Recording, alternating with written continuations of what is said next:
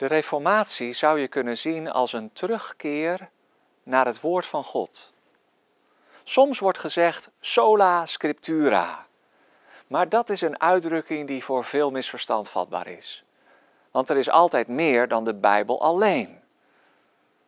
De Bijbel heeft wel het eerste en het laatste woord. Maar we luisteren naar de schrift in gemeenschap met de kerk van alle eeuwen. En dat bepaalt ook de manier waarop tijdens de Reformatie de Bijbel werd uitgelegd. Niet de traditie van de kerk naast het woord, ook niet het instituut van de kerk dat heerst over het woord, maar wel het woord samen met alle heiligen. Dat bleek eigenlijk heel snel in de crisis in Zwitserland, in Zurich. Bij de reformatie die geleid werd door Ulrich Zwingli, waren een aantal van zijn radicale leerlingen het niet helemaal met hem eens. Ze zeiden: Zwingli, je gaat niet ver genoeg. Je durft zeker niet. Je moet eigenlijk helemaal teruggaan naar het Nieuwe Testament en helemaal opnieuw beginnen met de kerk.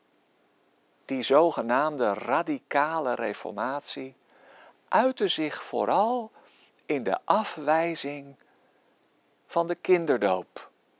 Daar zou natuurlijk heel veel over te zeggen zijn, over baptisten de eeuwen door en over de discussie over kinderdoop en volwassendoop. Dat moeten we nu even niet allemaal overhoop halen.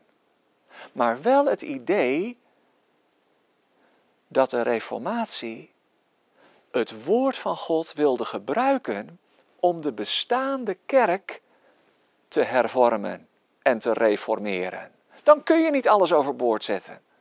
Je kunt wel opnieuw beginnen, opnieuw beginnen met Bijbel lezen, maar niet opnieuw beginnen met de kerk. Die moet door het nieuwe lezen van de Bijbel gereformeerd worden. Hervormd.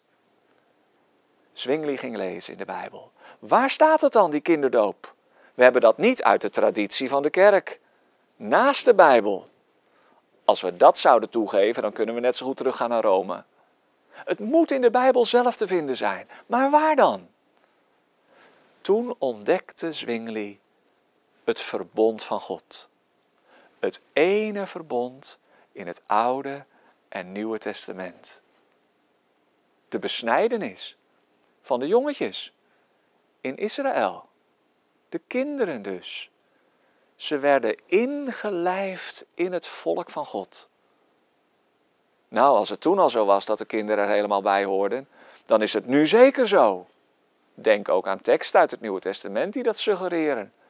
Van de kinderen is het koninkrijk van God, zegt Jezus. Al werden ze natuurlijk door Jezus niet gedoopt, want zover was het nog niet.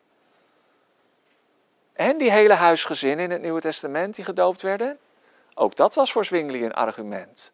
Maar het belangrijkste argument voor de kinderdoop was de herontdekking van de eenheid van het Oude en Nieuwe Testament. Was het bij Maarten Luther vaak nog zo dat het Oude Testament voor de wet stond en het Nieuwe Testament voor het Evangelie, hoewel die elkaar niet helemaal uitsloten?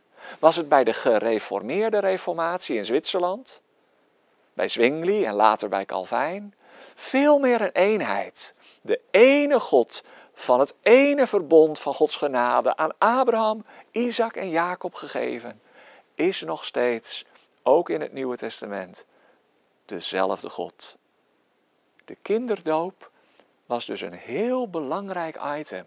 Niet op zichzelf, maar voor de hermeneutiek, voor het verstaan van de spelregels van het lezen van de hele Bijbel in gemeenschap met de kerk van alle eeuwen.